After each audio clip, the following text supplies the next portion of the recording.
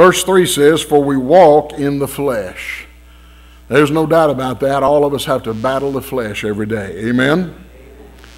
We do not war after the flesh, for the weapons of our warfare are not carnal, but mighty through who?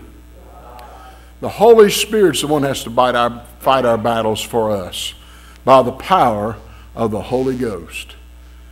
You have to realize you cannot win this battle on your own. You've got to have help from God.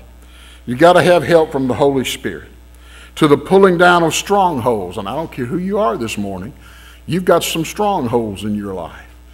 You've got some sin which does so easily beset you. You've got some struggle you're struggling with in your spiritual life, and your fi- flesh is fighting against you. Casting down imaginations, that's where sin starts, is in the brain. Say amen. Imaginations when your mind's wandering. When your mind's thinking about things of the world instead of things of God. We have got to keep our mindset on the things of God. We have to cast down wicked imaginations. And every high thing that exalted itself against the knowledge of God. The world wants to take your mind off of God. The Word of God wants to put your mind on God because God's where the answer is. God's where the victory is. And we have to have that knowledge of God, and we cannot let the world exalt itself. We cannot let the world overtake us. We have to take down those walls. Then it says, and bringing into captivity every thought. That's every minute of every hour of every day. To the obedience of Christ. You want to know what the victory is in life? Simple obedience. That's the victory. Obeying God. Not doing what you want, not doing what others want, but simply surrendering to the principles of God and obeying God. That's where victory is found. It says in verse 6 and having a readiness to revenge all disobedience. In other words, you've got to have a mindset that you're going to remove all disobedience from your life. Everything that you do that breaks God's heart, He is going to remove it, or you're going to remove it by His power out of your life. A readiness. In other words, we've got to prepare ourselves to fight the battle. We've got to prepare ourselves to say no to disobedience. When your obedience is what? Fulfilled. You see, folks, that's a wonderful thing when obedience is fulfilled. When you obey God and you do what He's told, what you're told when you're told the way you're told. Listen, if you do everything God tells you to do, you've got nothing to be nervous about. You've got nothing to be worried about, but something to be thankful for. We have all kinds of walls that we need to pull down in our spiritual lives. The bricks and mortar in these walls is our flesh, and it's strong and it's hard. Your flesh wants you to do what you want to do. It's called self will, it's called pride, it's called the lust of the flesh and the pride of life. The height on these walls is our wayward, wicked imaginations, our thinking. If we can get our thinking under control, we can get our bodies under control. A lot of folks have stinking thinking. Why? Because their thoughts are controlled by their heart and their flesh and not God. If you want to live a victorious Christian life, you better have every thought under submission of the Holy Spirit of God. The bricks is the flesh, the height is our imagination, the width and the depth of these walls is our selfish pride. If I could tell you one thing I believe is destroying the Christian world today, it's selfish pride. It's pride. Pride is thinking more highly of yourself than you ought to think. Putting yourself above God, putting yourself above others. Folks, we've got to get pride out of our life. I've heard people all my life say, swallow your pride. No, spit it out. Spit out your pride. Pride will keep you from surrendering to God. Because we have in America this thought of the self made man and self made woman. We're nothing without God. We're nothing without the hand of the Lord. and the help of the Lord. The first weapon that will pull all these walls down is acknowledging God. If you want to start taking those walls down today, hit this altar and acknowledge you need God. Acknowledge you need help. You need strength. You need grace. You need mercy. That's forgiveness. Amen? You need grace, God's strength. You need mercy. You need forgiveness. That first weapon is saying, Hey, Lord, I need your help. It's called getting out of the way and letting God do it for you instead of trying to make a mess out of your own life. The second weapon that'll pull these walls down is the knowledge. Not only acknowledging Him, but that's the first step is acknowledging that He's God and accepting and surrendering Him. The next step is His knowledge, knowing Him. That's why we have church, Sunday school, Sunday morning, Sunday night, Wednesday night, Tuesday morning, Thursday night, so you can know who God is. I'm afraid when we get to heaven at the judgment seat of Christ, a lot of people are going to stand there trembling because they're going to realize too late how little they knew about the God that loved them most.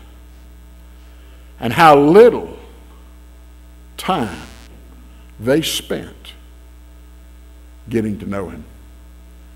Getting to know Him.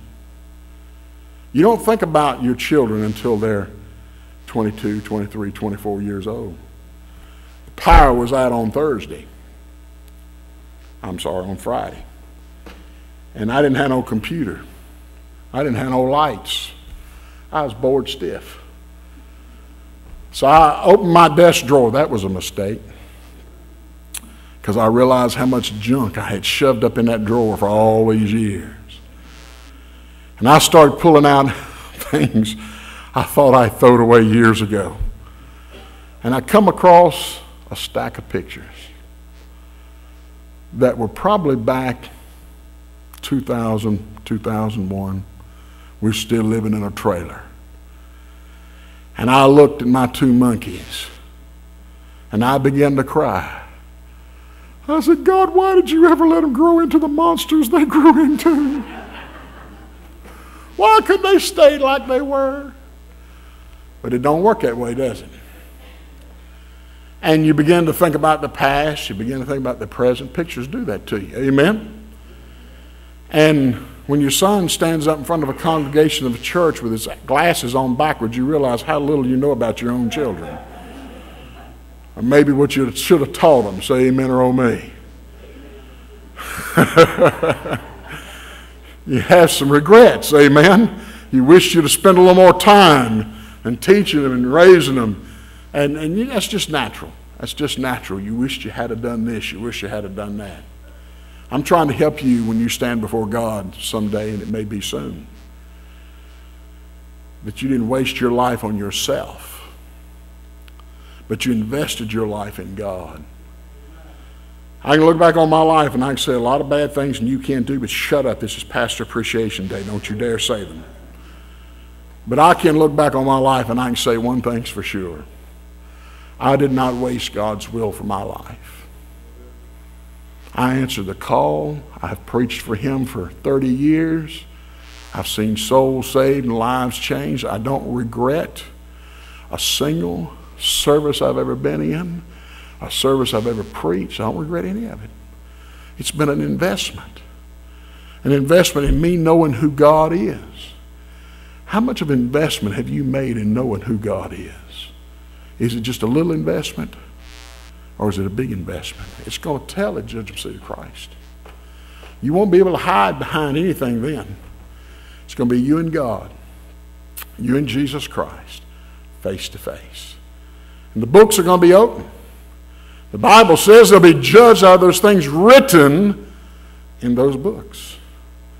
Do you realize God writes down everything? That crazy dog, I'm sorry. She got to whining when the power was off. Animals even know when the power's off. She's in that cage. Woo, woo, woo, woo, woo. I said, Wendy, for heaven's sake, bring that stupid dog to me. So she'll stop whining. So here comes Wendy with the leash. And so I bring her in, and she brings her bag of toys in there. That dog commits to unloading them toys in my office. Teddy bears, squeaky bottles, you name it. She had everything, and she's throwing them all over my office. So she went behind me, and I thought, well, she's playing with her toys. Don't trust a dog when they're quiet. I turned around, she got in my bookcase. And there was a, I had a bunch of journals on my bottom shelf. Had these little doogies here, ribbons. She'd done found one and got the ribbon. Pulled the book out from in the bookcase and commenced to chewing on my journal from 1987. I turned around and I bust that dog's tail wide open. Let go of that book, you crazy hound. She, woo! And I grabbed that book up. I just did save it because she was tearing it up. And I opened that book and I began reading that book. And I started remembering things I'd done for God.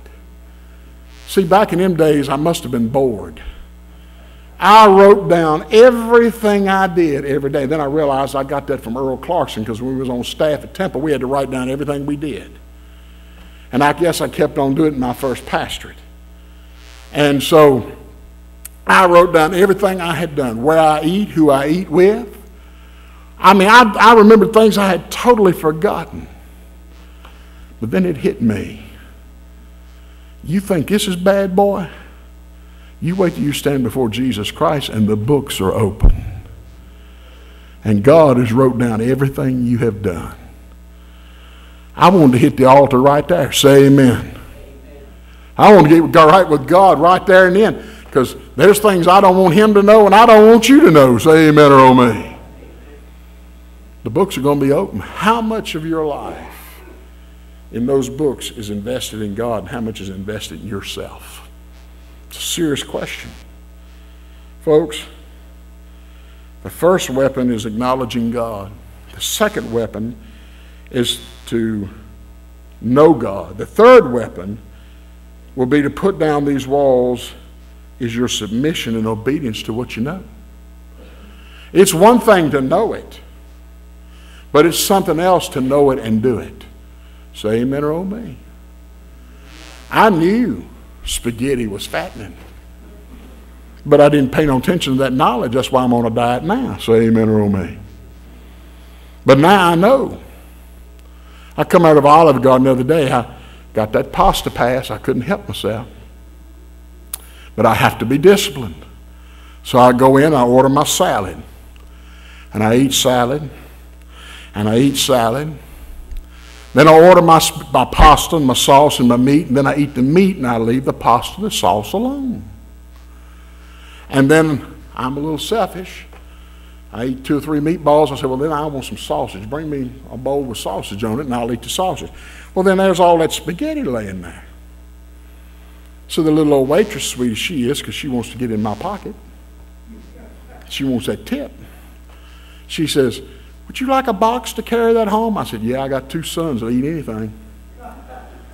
So she pours all that spaghetti I didn't eat over in them boxes. And I got up and I picked that box up. I said, Dear heaven, that's heavy. I said, Wendy, pick that bag up. She picked it up. She picked it up. She said, That's heavy. I said, Man, lie. I used to eat that every day when I got a pasta pass. She says, Now you know why you're as fat as you are, don't you? she ain't getting no more 31 bags. Say amen or me. But it was the truth. I picked that thing up and I realized what I was picking up my hand, I used to carry out in my belly every day. Now it goes home and Brandon eats it. So if he comes in with a fat belly in the next few weeks, you're going to know what happens. Amen. He took up where his daddy left off. Folks, I want to tell you something. Sooner or later, you got to come to the realization. You got to not only acknowledge He's God and know what He says, but then you got to do it. Amen? You got to apply that knowledge.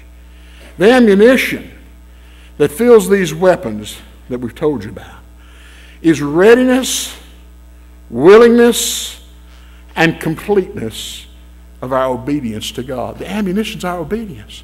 You want to bring the walls down in your life? Start obeying God. Quit disobeying God. Quit not doing what you know you ought to be doing. And stop doing what you know you ought not be doing. Obedience. That's the ammunition that brings these walls down. Acknowledge who God is, acknowledge what He says, and then do it. And folks, it'll change your life. Amen? It'll change your life. Readiness is casting down our wayward and our wicked imaginations. Willingness is removing every bit of pride and selfishness that hinders us from following God. We got to be willing to follow God. And the Word of God fires that willingness. Then completeness is the captivity or controlling our thought life so we can focus on Him and not ourselves. I was on YouTube the other day and I was watching some things from back in the election of 2016. And one of those narrators, whatever you call them on TV, was talking, and one asked the other one, Why is it do you think President Trump won this election? And one lady spoke up, she says, I'll answer this question. She said, He was focused on one thing and one thing only winning. He wasn't unfocused on what was going to happen after he won. He wasn't focused on what had happened before he started the collection. He was focused on one thing and one thing only. He wanted to win the election. I'm here to tell you this morning if you're going to win this life and win this battle in life and you're going to be the Christian you ought to be, you got to focus on one thing and one thing only. That's the Lord. You have to focus on obeying Him. You have to make some tough decisions. And tough decisions, folks, is sometimes not doing what your family wants you to do. Sometimes being obedient to God is not doing what your boss wants you to do. And most of the time, it's not doing what you want to do.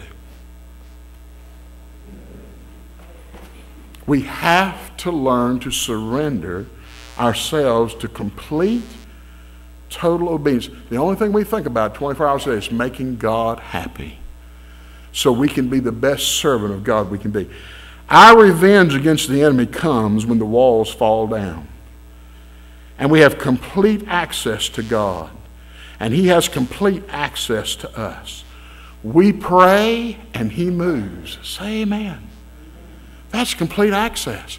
As long as you got walls in your life, you're not going to win this thing. But when you take those walls down and you remove the disobedience and replace it with obedience and faith, the walls come down, and it's easy to serve God. It's simple to serve God. You see, God through us can start, we can start to see these walls start to fall. The lost get saved. The backslidden come home to the Father. The discouraged become encouraged. It's time to break down the walls. First of all, look at Joshua chapter 6, verse 5. Joshua chapter 6, verse 5 says, And it shall come to what? That when they make a long blast with the ram's horn, and when you hear the sound of the trumpet, all the people shall what? Shout with a great shout. You know why some of y'all can't say amen? Your toes is hurting too bad. Some of y'all can't shout hallelujah because some pride is choking you to death right here. I'll say it, amen. Evidently, some of y'all choking to death this morning. I'm worried about you. Huh? Folks, first of all, if you obey God, it shall come to pass. It may not make sense to you what God's told you to do. It may not add up in your mind what God has told you to do. Just do what He said. Can you imagine Joshua when the Lord said, march around the city of Jericho every day, once a day, for seven days. In my mortal mind, I'd have said, Lord, you've lost it. Lord, you have lost it. Moses, I mean, Joshua didn't say that, did he? Joshua got the nation of Israel. They went down to Jericho and they marched around. Lord said on the seventh day, go seven times around And then, on that seventh time, blow that trumpet. Blow it loud. In my mind, I'd be saying, Lord, you've lost your marbles. But God told Joshua, didn't tell me. Joshua got the nation of Israel on the seventh day. They marched down. And they marched seven times around. And they blew the trumpet. And the walls fell flat. You see, obedience works miracles. Disobedience destroys you. Disobedience destructs your life. It deters you from God's will, and it takes you to places you don't need to be, doing things you ought not do that will kill you spiritually and physically, will wipe you out if you follow those ways. When the faithfulness of obedience has done its patient and consistent work in our lives, God promises the walls will fall when the trumpet sounds. I believe that trumpet sound is prayer that brings us uh, to the point of the moving of the Holy Spirit. Some folks don't even know what the moving of the Holy Spirit is in their life because they're so disobedient. You've got to weed out that disobedience in your life to find out what the moving of the Holy Spirit is. When Israel had marched around every day as they were instructed, and on the seventh day, seven times, with their work done, they sounded the long blast of the trumpet of prayer and made the horn uh, made out of the horn of a male sheep, indicating the Lamb of God. And the Spirit of God did what they could not do simply because they did what God said to do. They did their best, and God did the rest. Oh, isn't that amazing how that works? Been preaching that for years. But we got to start doing our best. We have to obey, work, and pray until the Holy Spirit does His work. And eventually, in time, the walls will fall flat to the ground. Then, when we prayed to Him, praised Him, and preached Him, and done all that we said we could do for Him and for, uh, that He asked us to do, then others will miraculously find God's way because of us. Miracles He'll do for us that we could not do for ourselves. It will come to pass. Just stay obedient. Amen? Number two, B. The walls shall fall what? Down. Down. The wall shall fall down. Verse 5b. And the wall of the city shall fall down flat. He promised them that in the beginning. Now, walls don't fall flat, they fall over. But God said they ain't going to fall over. They're going to fall flat. Now, stop. Think, think, think, think, think. Use your brain if the walls fell over, how was Israel going to get in and whoop them? Do you know when they dug up the walls of Jericho? They were still perpendicular. You know why? Because just like somebody pressed a button and them walls went, that's what happened. And Israel didn't have no trouble getting in the city and whooping them Jerichoites. Come on now. Because the walls fell what? Hey, man couldn't make them fall flat. I don't know if God had a bunch of moles on the job. Some of y'all women, some of y'all still way out in disobedience land. I don't know if he had moles or groundhogs or what working, but something was gnawing under them walls because when they blew them trumpets, them walls went, and Israel defeated Jericho. And it came to pass that the walls fell flat. You see, you may not see how God's going to do it. And you saying, God, I don't see how you're going to do it. Don't worry about how God's going to do it. Just do what He says till He does it. Amen? Just do what He says till He does it. The wall that is hindering your service, the wall that's hindering your soul from being saved, that will that is hindering your friend or loved one from coming back to God, that wall that is haunting you and trying to hinder you from the fellowship with the Lord you ought to have, they will fall flat so you can walk over them with ease and put them what? Under your feet. Amen? And you can trot over them. 1 John 5 4 For whatsoever is born of God overcometh the world. And this is the victory that overcometh the world, even our what? Faith. Who is that overcometh the world? But he that what? Believeth that Jesus is the Son of God. Romans 8 3. Nay, in all things we are more than what? conquerors of our walls through him that loved us. For I am persuaded that neither death, nor life, nor angels, nor principalities, nor powers, nor things present, nor things to come, nor height, nor depth, or any other creature shall be able to separate us from the love of God, which is in who? It's not in you. It's not in me. It's not in the world. It's in Christ. That's who we need to get close to. But it shall come to pass. The wall shall fall flat. Now see and the people shall ascend what? Up. Didn't say down, it said up. I want you to know something this morning. God wants your life to go upward, not downward. Oh, thank God. The walls will, uh, will, do, will go down flat, and we'll rise up, and we'll ascend even closer to the Lord. With the walls gone, you can get next to Him. Say amen or amen. You know when something's next to you, don't you? This morning, at 6 o'clock in the morning, that stupid cat. Thank God she went to Wendy. Wendy had to get up and go give that thing water, or Wendy won't gonna get no more sleep. I had my mask on. when I was snoring, but I was breathing good. I fell back to sleep fast. Wendy come back, got into bed. I didn't even know she got back into bed. I was gone. All of a sudden, something cold got up in the middle of my back. I said, Wendy, get your cold hand off my back. I ain't touching you. It's the cat. That dumb cat done got back in the bed where he'd been in that water and got them paws ice cold and put them up in my back. I knew that cat was what? Close to me. You get close to God, you ain't going to have to wonder if he's there, honey. Amen? You're going to know you done touched God and God done touched you. Say amen. You'll know that you've ascended up. You'll know that you've come close to God. Psalms 24 3. Who shall ascend to the hill of the Lord? Who shall stand in his holy place? He that hath what? Obedient, clean hands. And a what? Pure heart. Live a clean life, you'll have a pure heart. Who hath not lifted up his soul to vanity, that's selfishness, nor sworn deceitfully, that's lied to yourself.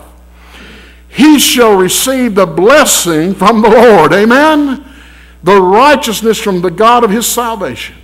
This is the generation of them that what? You got to seek him. And the way you seek him is through obeying him. And that seek thy face, O Jacob, Selah. That means in uh, Mays Jackson language, what do you think about them apples? Amen. What do you think about that? Think about that for a minute. Think about the goodness of the Lord in the land of the living. Then verse 7. Lift up your heads, O ye gates. Lift up ye everlasting doors. And the King of who? Shall what? When the wall's down, folks, not only can you get close to him, he can get close to you. Say amen. The Lord strong and mighty. The Lord mighty in what? Battle. Every one of us are in a battle this morning. If you're saved, you're in a battle for service. If you're lost, you're in a battle for your soul. But every one of us is in a battle. And the only way you can win that battle is to draw nigh to God. And He'll draw nigh to you. Cleanse your hands, you sinners, and ye double minded. Listen, Tony done some things wrong Sunday night, but he said one thing right. See, if you weren't here Sunday night, you've missed out. You should have been here. That's all I'm going to tell you. You be quiet over there. Call me a drug dealer. God help him. I ain't going to never get over that. Told the whole world, preachers got the good stuff. I said, I hope they heard the whole message and not just part of it, amen. Hope they heard it all, not just part. You can go to church all you want to. And the devil don't care. Just don't you grow in church. That's the problem. We go to church, but we don't hear and we don't heed. We've got to hear and heed. We've got to listen. Amen? We've got to let it sink in. We've got to grow in the grace of God, in the Word of God. Because I don't know about you, I don't like that cat getting close to me in the middle of the night. But if my heart's hurting, or my body's hurting, I want God to get just as close to me as He can. I don't want no walls between me and God. I want the walls to fall flat. And I want to ascend up to Him, and I want Him to ascend down to me. Amen? And I want victory. Thank God there's victory in Jesus. Every head's bowed, every eye's closed.